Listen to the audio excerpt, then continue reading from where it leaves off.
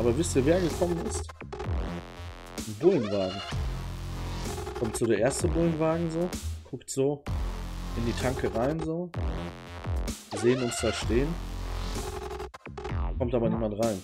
Dann kommt der zweite Bullenwagen, der dritte Bullenwagen, der vierte, der fünfte. Und die sagt so, guck mal, äh, die wollen was von uns. Dann habe ich schon gesagt, als der erste ankam, habe ich gesagt, pass mal auf, die kommen gleich zu uns rein. So eine Probleme kann es euch machen, wenn ihr jemanden 50 Euro leiht. Am Ende landet ihr vor Gericht und die Richterin fragt euch, ob ihr irgendein Mädel zur Prostitution nötigen wolltet.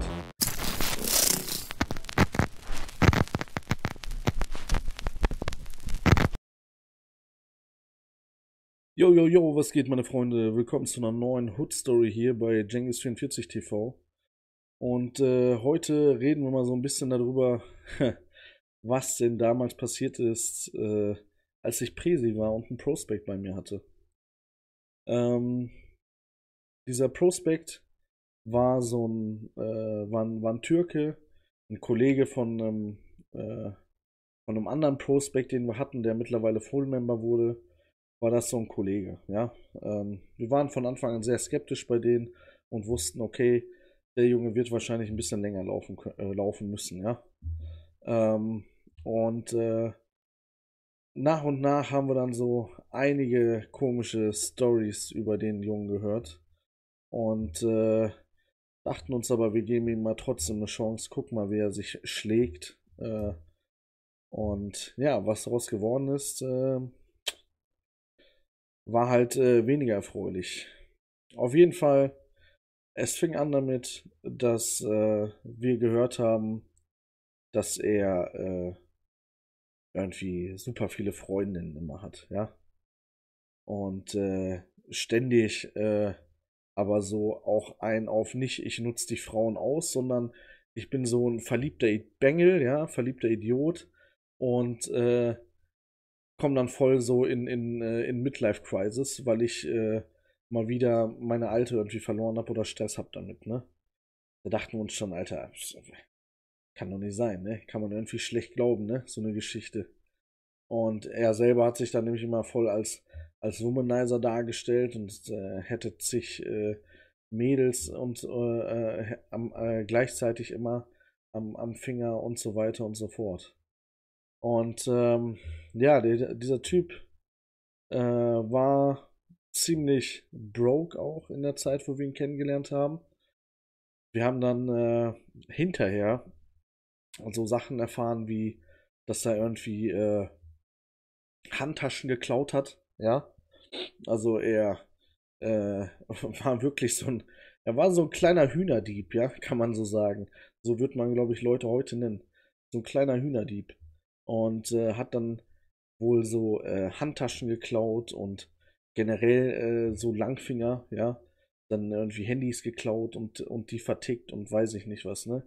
Auf jeden Fall ein Typ, wo du dir sagst, Alter, sowas passt auf jeden Fall nicht in Motorradclub, ja? So, die Härte an der Sache ist aber folgendes. Jetzt äh, bin ich ja der Presi in dem Club und ähm, es war dann so, dass der, dass der Typ sich äh, Kohle bei mir geliehen hatte. Nicht viel irgendwie 50 Euro oder so für so, für so ein scheiß Zugticket oder so, ne? Er meinte, er meinte, ja, er hat da so ein Mädel kennengelernt in Köln und äh, die hat da äh, gerade Probleme und er musste auf jeden Fall hin und so und er wollte dann irgendwie Kohle von mir, ne? Und ich so, wie, äh, fahr da halt hin, ne? Fahr schwarz hin, ne? Sag ich, äh, juckt mich doch nicht, was, äh, was meinst du denn, wer ich bin, dass ich dir jetzt Kohle gebe, ne? Ich sag, wir kennen uns seit, seit drei Monaten, du bist hier Prospect und jetzt pumpst du mich an. Frag, ein, äh, frag doch irgendeinen von deinen anderen Leuten, ne? Frag doch den und den, ne? Meine ich so, den Typen, der ihn halt reingeholt hat. Ja, nee, den habe ich schon gefragt und dies und jenes. Ich sag, guck mal, wenn du dir bei mir Geld leist, ne, dann muss ich darauf bestehen, dass du mir die Kohle auch wiedergibst. Wenn du das nicht machen kannst, kriegst du Probleme mit mir. Ich habe auch so äh, Späße, sage ich, kein, keine Lust. So. Deine Clubbeiträge hast du bisher pünktlich bezahlt, okay, alles picobello, aber fang nicht, fang nicht auf die Nummer an. Ja, und dann äh, er, nein, bitte, bitte, bitte. Und dann tat er mir auch irgendwo leid, ne? Habe ich gesagt, okay, komm hier. Gebe ich ihm 50 Euro. So, und das war der schlimmste Fehler, den ich machen konnte. Weil ich wegen diesen 50 Euro am Ende tatsächlich vor Gericht stand. Ja, muss man sich mal vorstellen. Und wie ist das dazu gekommen? Okay, passt auf. Wenn ich nur dran denke, ne, könnte ich schon wieder. Dieser Junge war also dort, ist dann wieder zurückgekommen, dies, das, alles tutti. Und dann kam irgendwann der Zeitpunkt, dass er mir das Geld geben sollte, ja. Zwischenzeitlich, er kam eigentlich aus Iserlohn oder so, hat aber die ganze Zeit in Bochum irgendwie bei seiner Tante gewohnt. Äh, gar nicht weit weg von mir. Und äh, die Tante irgendwie äh, hat da auch allein gelebt und und und. Dann hat er neben seiner türkischen Freundin in Köln hier in Bochum auch irgendwie so ein, Deutsch, ein deutsches Mädel gehabt, äh, mit dem er da, äh, mit der er da zusammen war. Hat es dann auch irgendwie geschafft, die äh, das deutsche Mädel zu schwängern. Die hatte dann irgendwann äh, äh, kugelrunden Bauch, aber da kommen wir auch noch später zu.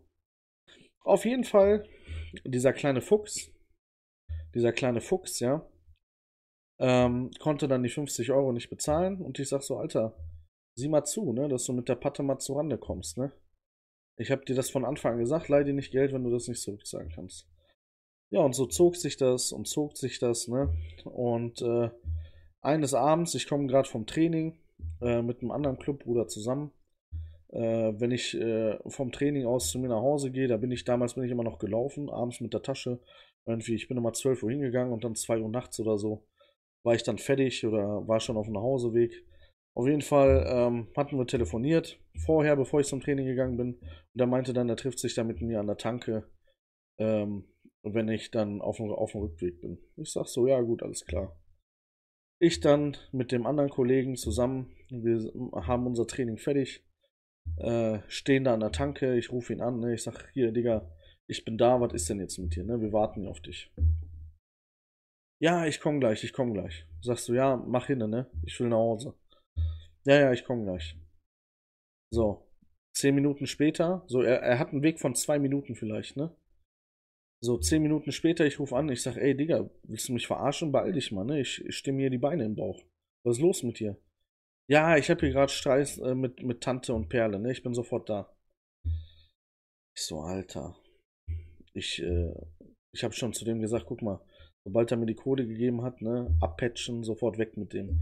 Die Schnauze sowas von voll, auf so einen Typen äh, kein Nerv, ne? Immer seine Ausreden und so weiter. Ähm, naja, egal. Gut, dann wir warten, warten, warten. Dann warte ich da insgesamt eine halbe Stunde oder was, ne? Ich kannte den Besitzer von der Tankstelle. Wir haben da geredet, Kaffee getrunken. Äh, wir waren da quasi zu dritt am Quatschen da in der Tanke, ne? An so einer Stehtheke da. Auf jeden Fall, der Typ kommt nicht. Aber wisst ihr, wer gekommen ist? Ein Bullenwagen. Kommt so der erste Bullenwagen so, guckt so in die Tanke rein so, sehen uns da stehen, kommt aber niemand rein. Dann kommt der zweite Bullenwagen, der dritte Bullenwagen, der vierte, der fünfte und die sagt so, guck mal, äh, die wollen was von uns. Dann habe ich schon gesagt, als der erste ankam, habe ich gesagt, pass mal auf, die kommen gleich zu uns rein. Der Kollege so, ja, warum? Was denn? Sag so, ja, wart ab. Ich so, äh, ähm, warte dann da so, die kommen rein. Ja, Herr, sowieso. Ich sag, ja, da bin ich, ne? Ich sag, was ist denn los? Ja, äh, kommen Sie mal bitte mit raus. Wir klären wir draußen. Ich sag, worum geht's, ne? Was wollt ihr von mir? Ja, äh, bla bla bla, äh, da fühlt sich jemand bedroht von ihnen. Ich sag, wie? Komm da raus, ne? Ich sag so, wie? Wer fühlt sich denn bedroht von mir, ne? Ja, der Herr sowieso, äh, der hat uns angerufen, ähm, sie würden ihn bedrohen, äh, sie würden ihn irgendwie Schläge androhen. Wenn dem Herr sowieso irgendwas, dann habe ich erstmal eine Gefährdenansprache gekriegt, ja. Für alle Leute, äh, habt ihr vielleicht schon mal gehört, so eine Gefährdenansprache dann hieß es nämlich, wenn dem irgendwie was passiert, dann kommen wir als erstes auf sie zurück und dann äh, gehen wir davon aus, dass sie da irgendwie was getan haben. Ich sag so, was ist los? Ja, äh, haben sie irgendwelche Waffen dabei? Haben sie, was haben sie in der Sporttasche, ne? Ich sag, das, was man so üblicherweise in der Sporttasche hat, ne? Ich sag, meine Trainingssachen. Ja, können wir da mal reingucken? Ich sag, nö, eigentlich nicht. Ja, äh, doch, wir gucken da jetzt mal rein. So, haben sie irgendwelche Waffen bei sich? Ich sag, ja sicher, sag ich, ich bin Pablo Escobar. Meine Drogen und, mein, und meine Knarren, die habe ich immer bei mir mit. Deswegen, deswegen ist die Sporttasche auch so groß. Ne? Hab da so eine große Nike-Tasche gehabt, ne? Ging mir voll auf den Sack, die Typen. Hinten so, äh, die drei, vier Mannequin, die ziehen sich schon die Handschuhe an, so, weißt du? Ich dachte mir nur so, yo, geil. Das versucht mal hier unter der Kamera von der Aral-Tankstelle äh, mit mir hier Faxen zu machen, ne? So, ich hab's auch drauf angelegt, weil wenn die unter der Kamera da irgendwelche Faxen machen und äh, mich da irgendwie niederknüppeln, dann habe ich das wenigstens auf Video. So, Kollege von der Aral, von der Aral, der Typ ist sowieso mein Kollege. Naja, auf jeden Fall, äh, die dann so, ja, äh, jetzt werden sie hier mal nicht patzig und bla bla bla. Ich sage, ja, komm, zieht einfach eure Show ab, ne? Und dann äh, Tschüssikowski. Ja, äh, wie gesagt, Gefährdenansprache, bla bla bla. Ich sage, jo, alles klar. Daten aufgenommen, Perso gezeigt und und und. dann gehen wir nach Hause so, ne? Dich so schon zum Kollegen, Alter, dieser Typ, ne? Dieser Typ, Junge. Was machst du jetzt mit dem, ne? Habe ich mir so gedacht. Weil der hätte wirklich aus der Haut fahren können. Wegen 50 Euro ruft dieser Schwanz die Bullerei und ich krieg eine Gefährdenansprache, nachdem ich mir eine halbe Stunde die Beine im Bauch stehe. Junge, Junge, Junge, Junge. Okay. Damit denkst du, die Sache ist geregelt, ne? Tja, am Arsch hängt der Hammer, Alter. Ein paar Monate später, äh, ich soll bei der Polizei erscheinen. Äh, und dann irgendwie äh, äh soll ich vor Gericht. Wegen, äh, äh, was war das? Irgendwie Nötigung und, und Erpressung und keine Ahnung, was das da alles war. Nötigung und Erpressung und Drohung und sowas, ne? Der Typ war natürlich weg. Von dem haben wir die ganze Zeit nie wieder was gehört, ne? Der ist untergetaucht, war weg. Dann auf jeden Fall, ich bin dann vor Gericht, Amtsgericht Bochum. Zu dem Termin erscheine ich dann da. Wen sehe ich? Seine schwangere Frau oder damalige Freundin. So einen dicken Bauch. Ich hochschwanger, ne? Irgendwie siebter Monat oder so. Ich sag so, äh, ich sag so, hallo, ne? Was ist denn hier mit dem Dingens? Wo, wo bleibt der denn? Ja, der ist im Knast. Ich sag, oh, ja, der ist äh, kurze Zeit, äh, nachdem das war, ist er irgendwie in den Knast gekommen. Der hat irgendwie einen Raubüberfall versucht. Offene Spiele oder sowas. Auf, saß auf jeden Fall im Knast. Ich sag so, ja, geile Sache. Ja, und warum bist du hier? Ja, Zeuge, dies, das. Ich sag so, ja, okay, ja, gut. Ich sag, ja, da bin ich mal gespannt, ne, was da gleich wird. Ja, und dann äh, sind wir da vor Gericht. Ich werde dann da, ich bin dann da Beschuldigter und keine Ahnung was. Und dann haut die Richterin so Sachen raus wie, äh, ja, äh, ob ich denn die Freundin von ihm kenne. Ich sag so, ja, die habe ich ein, zwei Mal gesehen, ne? Wir waren mal, ich war mal äh, mit den Jungs essen und da kam die auch mal mit, ne? Da saß die dabei. Ja, äh, haben sie denn, äh, um wie viel Geld ging es denn da, ne? Ich sag, äh, der Typ hier, ach so, genau, dann kommt ja erst der Typ rein. Aha, nicht, dass ich das durcheinander bringe. Dann kommt ja dieser, dann kommt der Typ rein, ja, unser ehemaliger Prospect, wird dann in Handschellen, äh, kommt dann da rein in diesen Laden äh, und erzählt erstmal, weil erstmal erzählt ja derjenige, der, äh, der äh, da seine Beschwerde hat, ja, der erzählt ja dann erstmal, was Sache ist. Und der erzählt einfach, dass ich ihm 25.000 Euro geliehen hätte und ich ihm jetzt die Kniescheiben wegschießen würde, und damit gedroht hätte, ihm die Kniescheiben wegzuschießen oder ihn umzubringen, äh, wenn er mir die 25.000 Euro nicht wieder gibt, ne? Ich saß da so, Alter, denke mir so, what? 25.000 Euro? Ich sag, auf, auf was für ein Film ist der denn? Naja, auf jeden Fall äh, sagt dann die Richterin so, schon äh, ganz am Anfang, sagt sie so, hä, sie haben doch damals bei der Polizei gesagt, das wäre irgendwie 10.000 Euro. Dann später haben sie gesagt bei der Anzeige, das wären 50.000 Euro. Und jetzt sind es wieder 25.000 Euro. Ja, wie viel Geld war es denn jetzt, ne?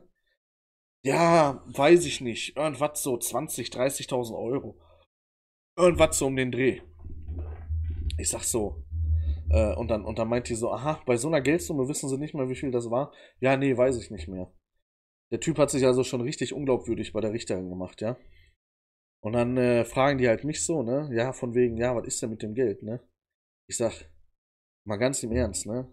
Wenn ich 25.000 Euro hätte oder 50.000 Euro hätte, dann würde ich sie nicht einem Vogel geben wie dem da, den ich gerade drei Monate kenne zu der Zeit. Warum sollte ich das machen? Bin doch nicht bescheuert. Ich sag, das ging um 50 Euro, weil der seine Olle in Köln besuchen wollte. Und keine, und, und nicht um 50.000 Euro. Erstens mal habe ich so viel Kohle nicht, sage ich. Und zweitens mal würde ich, wenn ich die Kohle hätte, würde ich die dem niemals geben. Ne? Also absoluter Bullshit. Ja, und äh, dann äh, hin und her und dies und das. Dann noch hat sie, stellst du mir auf einmal Fragen von wegen so, ja, äh, kennen Sie denn die Freundin und so? Ich sag so, ja, kenne ich. Ja, äh, stimmt es, dass Sie sie äh, zur, Prostitu äh, zur Prostitution genötigt haben? Ich sag so, was soll ich gemacht haben? Ja, äh, sollte sie nicht irgendwie äh, anschaffen gehen oder sonst wie was? Ich sag, Alter, äh, seid ihr ganz beschmiert oder was? Ne? Ich sag, nee, wie, wie kommt denn da drauf? So, pass auf, und dann sagt die Freundin am Ende aus, ne? Dann ist die ja auch dran, die ist ja auch Zeuge, ne? Die sagt auch so, ja, ich kenne den, ich kenne den Jengis. Und ja, hat er sie denn mal irgendwie zur Prostitution äh, irgendwie nötigen wollen oder so? Sagt die so, nee.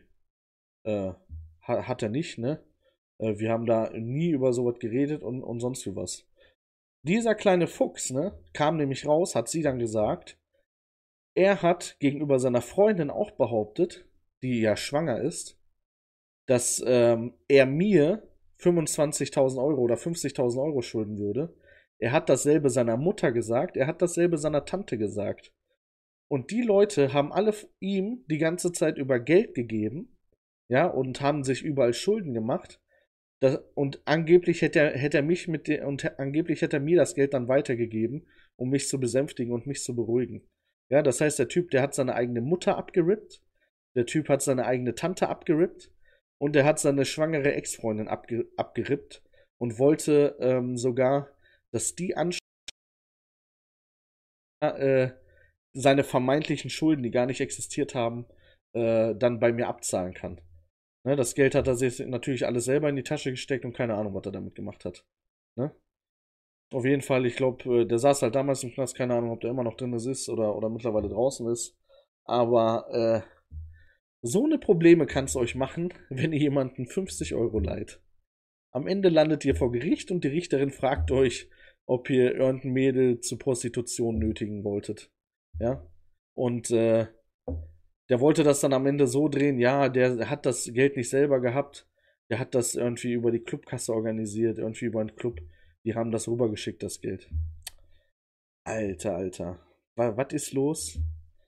Ja, auf jeden Fall mit solchen, mit solchen Sachen könnt ihr euch dann äh, rumschlagen, wenn ihr Presi seid und äh, wenn jemanden 50 Euro leiht, ne? Deswegen passt auf, an wen ihr Geld verleiht. Bleibt stabil, bleibt sauber, bleibt gesund. Ich bin raus, haut rein.